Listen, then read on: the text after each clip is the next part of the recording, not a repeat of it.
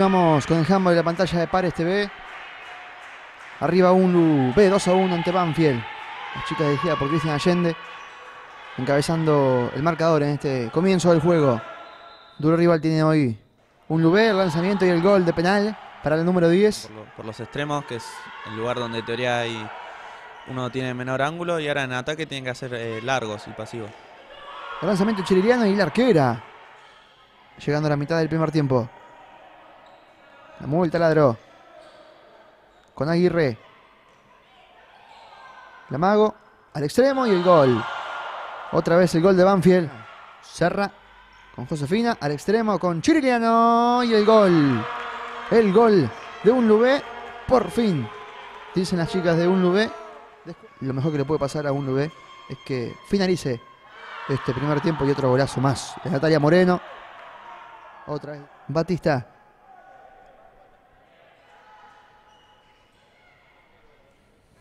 Busca, les cuento, un Lubé, lanzamiento y el gol de Mayo Luna. Pelota para Banfield, que gana 15 a 6. Aguirre, el gol. A pie firme de la número 15.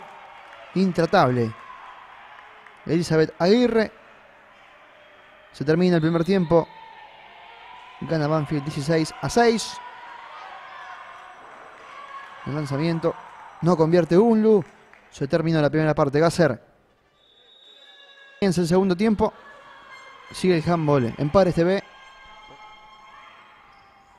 La contra rápida de Unlu con Juli Serra. El gol.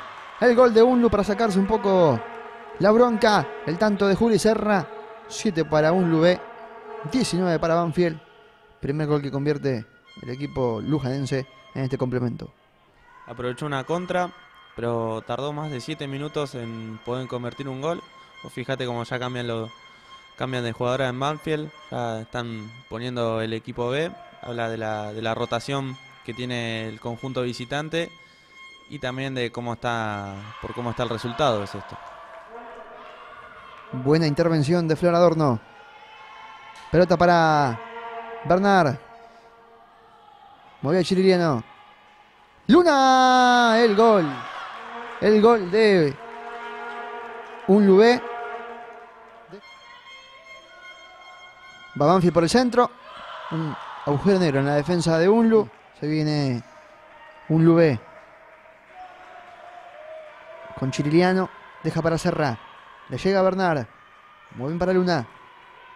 Josefina que se la juega por el centro. El pase al pivot y el gol de Fleitas. El gol de Unlu Pelota para Batista. Chiriliano. La pérdida de Unlu y la contra que ya nace de Banfield. Núñez. El gol del taladro.